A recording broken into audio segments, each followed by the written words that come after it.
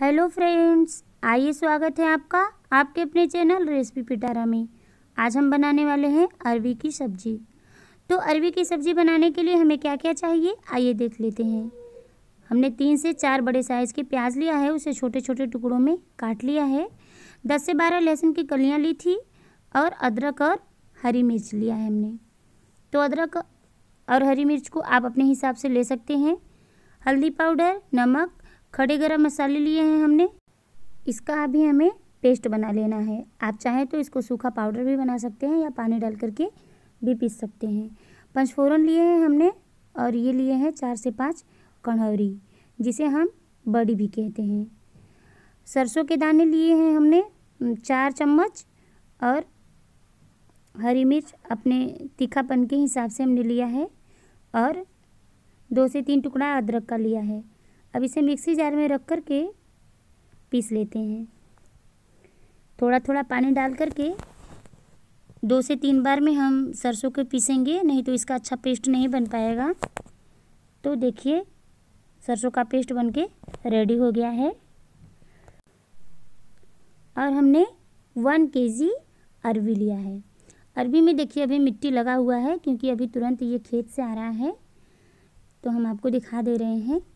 अभी इसको हम साफ़ पानी से धो करके, छील करके सब्ज़ी के आकार में काट लेंगे। तो अब हम पैन को गरम करते हैं और हमने दो से तीन बड़े चम्मच तेल लिया है।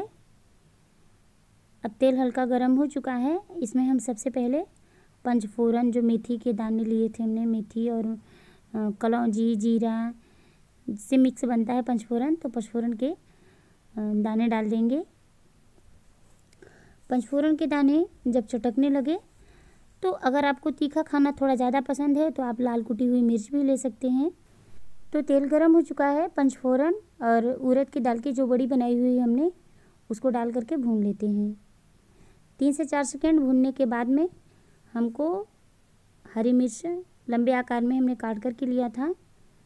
थोड़ा हमने इसमें हरी मिर्च कम ही लिया है, क्योंकि हमने सरसों में भी हरी मिर्च को पीस कर पेस्ट बनाया है तो हरी मिर्च को भी अच्छे से चला लेंगे। हरी मिर्च को भी चलाते हुए एक मिनट हो गए हैं। अब इसमें हम कटे हुए लहसुन को डालेंगे और प्याज को। प्याज और लहसुन को पाँच से छः मिनट तक हमको भूनना है, ताकि प्याज और लहसुन अच्छे से ब्राउन हो जाएँ। और हमें इसमें थोड़ी सी नमक भी डाल देनी है। आधे चम्मच डाल देंगे। बाकी और जो नमक डालना है, हमको बाद में डालना है।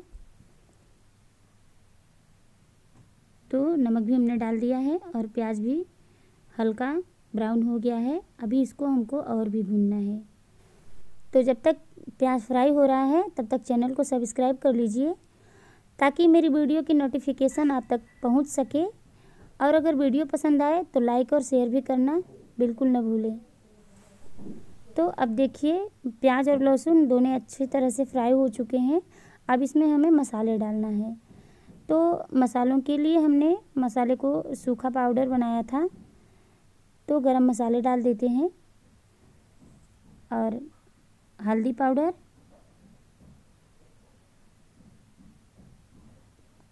एक चम्मच हमने हल्दी पाउडर डाल दिया है। क्योंकि इतनी सब्ज़ी हमको 10 से 12 लोगों के लिए बनानी है। अभी हमने सरसों के दानों का जो पेस्ट बनाया था, उसे भी डाल करके अच्छे से भूनते हैं। अरबी के सब्ज़ी में सरसों सबसे ज़रूरी इंग्रेडिएंट्स होता है। तो सरसों को बिल्कुल भी स्किप न करें। इस मसाले को हमें तेल छोड़ने तक लगातार चलाते हुए भूनना है। चलाना बिल्कुल भी ना बंद करें, नहीं तो तली में मसाले चिपकने लगेंगे और जल भी जाएँगे। तो चूल्हे का फ्लेम मीडियम कर दें और लगातार चलाते हुए मसाले को भून लें। अभी देखिए मसाला भी भून करके लगभग रेडी हो गया है और अब इसमें हमें अरबी डाल देना है। अरबी डाल करके अच्छे से मसालों में मिक्स करेंगे। अरबी को हमें मसालों के साथ ज़्यादा भूनना नहीं होता है, क्योंकि मसाले भून गए हैं। तो मसालों के साथ मिक्स करेंगे और एक से दो मिनट तक इसी तरह से चलाते रहेंगे। देखिए, सब्ज़ी अच्छे से मिक्स हो गई है। अब इसमें आवश्यकता के हिसाब से पानी डाल देना है। पानी हमको सब्ज़ी जितना हमको बनाना है, करी उसी हिसाब से थोड़ा ज़्यादा डालना है, क्योंकि अरबी की सब्ज़ी बनने में पानी थोड़ा ज़्यादा लगता है। तो अभी देखिए हमने दो से तीन गिलास पानी डाल दिया है अरबी में। क्योंकि जब अरबी पकेगी तो पानी थोड़ा और कम हो जाएगा। तो पानी डाल देंगे और नमक हमें टेस्ट के अकॉर्डिंग डाल देना है। उसके बाद सब्ज़ी को ढक कर के पंद्रह से बीस मिनट के लिए छोड़ दें। बीच बीच में हमें चार से पाँच मिनट के अंतराल में चेक कर लेंगे। तो देखिए, हम चेक कर रहे हैं। अभी सब्ज़ी पकी नहीं है और हल्दी भी थोड़ा हमको कम लग रहा है शायद। तो थोड़ा और हम हल्दी पाउडर डाल देंगे। तो सब्ज़ी को पकते हुए लगभग पंद्रह से बीस मिनट हो गए हैं, और सब्ज़ी भी बन करके रेडी हो गई है। अब इसे हम सर्विंग बाउल में निकाल लेते हैं।